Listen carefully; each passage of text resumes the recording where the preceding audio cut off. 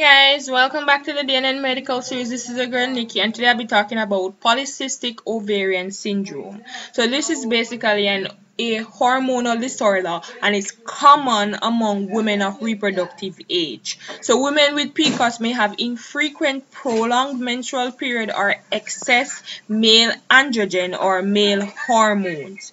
So the ovaries may develop numerous small collection of fluids or follicles and fail to regularly release eggs. So your ovaries are the ones that release the eggs each month when you're ovulating. These ovaries cannot do that or they, they fail to do that.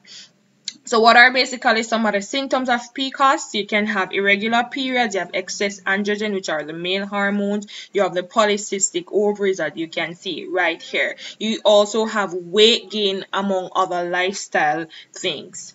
So what can cause it?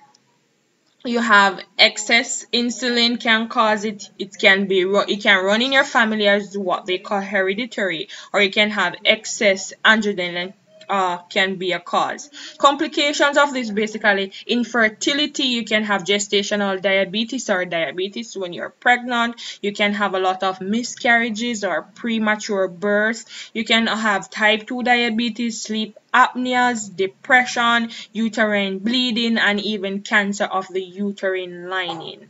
So in treating PCOS, the doctor is basically going to recommend a lifestyle change.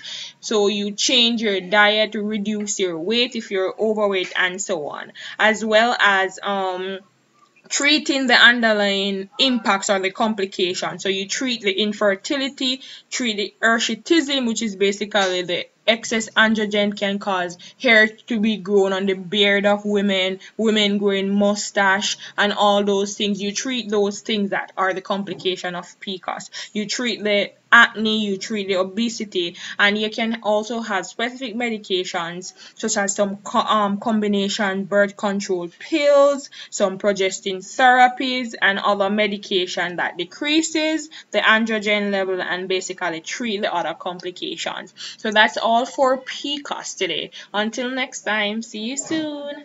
Bye.